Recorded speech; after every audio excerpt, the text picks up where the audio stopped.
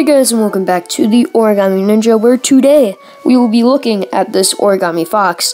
It's very simple, very easy, only takes six folds, looks very nice still, so let's get right into it.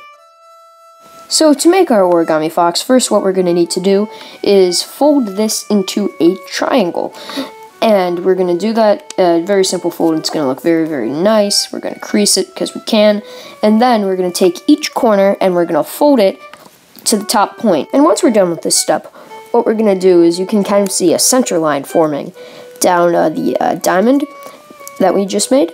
And what we're going to do is we are going to fold it so the sides are facing out. So just fold it like that, and as soon as we do that, we're going to find the edges where they are protruding, I guess. So right here you can see a pocket. You want to put your thumb inside that pocket, don't take it with you, but then fold it diagonally. So you really want to fold it diagonally in a nice straight line so the face looks very even. And then as soon as you do that, you are going to fold that top flap down so it looks like a nice pointed head right there. And just to top it all off, we're going to put a tail in, we're just going to fold a triangle off the back. It can be really any size you want, but it'll also help it stand up like so. Remember to like, comment, and subscribe for more awesome origami content.